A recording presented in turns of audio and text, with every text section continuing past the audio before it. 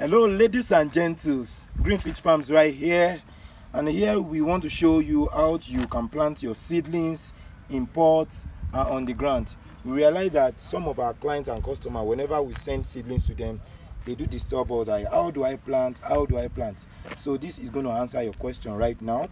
So we start by the pots. We've actually put sand there so as not to waste time. You see, we put the sand to some um, to this level then you try to dig the hole. You see the plants the seedlings you are planting. This is a cordyline you dig the hole in the pot in correspondence to the base of the seedlings you are planting. You dig the hole in correspondence to the base of the seedlings you are planting. You see you dig the hole. Then you try to plant. Now this is the important part of this whole thing whenever you are tearing the container or the leather you make sure that the earth material around the seedling does not break. If it breaks there's something they call transplanting shock. You can see the roots the way it is. There's something they call transplanting shock and that will make your leaf to wither or to go flaccid a little bit. You don't want that. You want your plant to remain turgid just like the way you got it. So you ensure that the base the earth material around the seedling is intact then you can plant. See you put it there you make sure you position you centralize it make sure it's balanced. See it's actually balanced now. And um then you fill up the soil the the pots i mean the container with the sand good sand. You fill it up. You fill it up to two-third of the container. This is like two-third of it.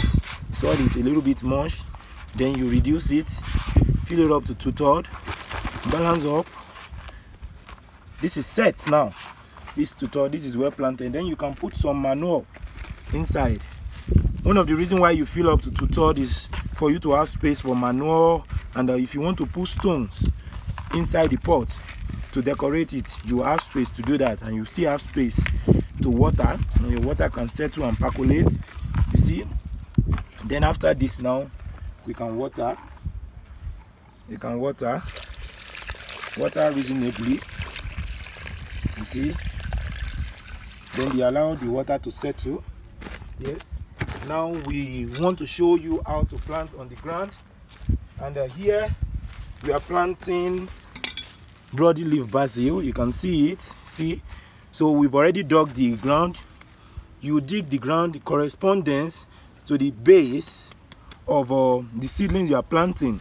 That's if the base is big you dig the ground to be big. If it's small you dig it to be small.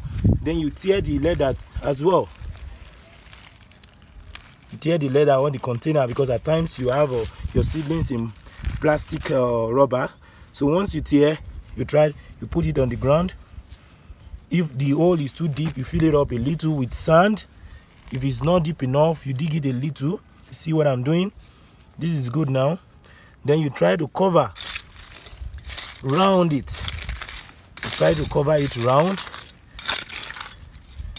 Then you ensure that you have some hollow part at the base so that um you can water. The water will have a space to percolate and if you want to put some manure you have some space to put manure. You see? Then you can put some manure there. Then you water you put some manure then you water. Then put some manure around it. Some manure around it. If you don't have manure you don't need to put it uh, as soon as you're planting you can put it later. You can use cow dung